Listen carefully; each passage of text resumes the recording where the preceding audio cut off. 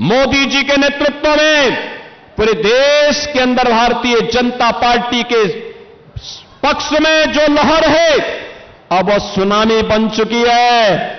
और आप देखना, चार जून को जब परिणाम आएँगे तो चार जून के परिणाम में अब की बार 400 पार का लक्ष्य पूरा होगा। मैं बहन और भाइयों, आप सबसे अपील करूँगा यहाँ पर संबित पात्रा हमारे लोकसभा के लिए भारतीय जनता पार्टी के कैंडिडेट के रूप में आपके बीच में हैं। और मैं तो आपसे अपील करूँगा समित पात्रा को यहाँ से मेंबर ऑफ़ पार्लियामेंट जिता करके भेजिए।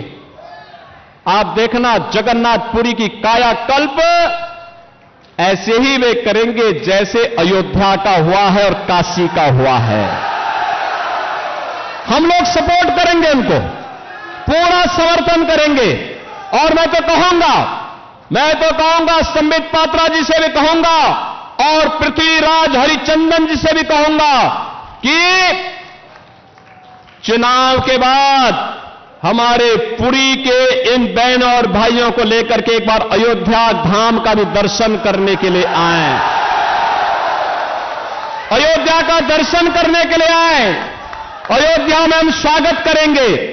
क्योंकि पुरी के लोग आएँगे तो हमारे लिए मेहमान होंगे, क्योंकि हमारे भगवान जगन्नाथपुरी से, माँ भगवती के इस धाम से जब वहाँ पधारेंगे तो हमारे लिए तो अतिथि होंगे और आप देखेंगे जब डबल इंजन की सरकार काम करती है तो विकास कैसे बुलेट ट्रेन की स्पीड से आगे बढ़ती है, इसका नज़ारा आपको यहाँ पर भी देखने को मिलेगा और इसलिए मैं आप सबसे अपील करूँगा भारतीय जनता पार्टी के हमारे सभी कैंडिडेट डॉक्टर संबित पात्रा को यहाँ पे पार्लियामेंट्री कॉन्स्टिट्यूंसी के लिए और श्री हरि हरि पृथ्वीराज हरिचंदन को यहाँ की असेंबली के कैंडिडेट के रूप में कमल चुनाव चिन्ह पर भारतीय जनता पार्टी के प्रत्याशियों को भारी बहुमत से विजयी बनाने की मैं आपसे अपील करता हूँ।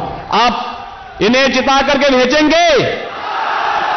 पुरी जिता के भेजेगा, चिल्का जिता के भेजेगा, सभी लोग सहमत हैं, कमल खिलेगा, फिर से खिलेगा, और संबित पात्रा आपके पक्ष को देश के अंदर देखो किस मजबूती के साथ रखते हैं।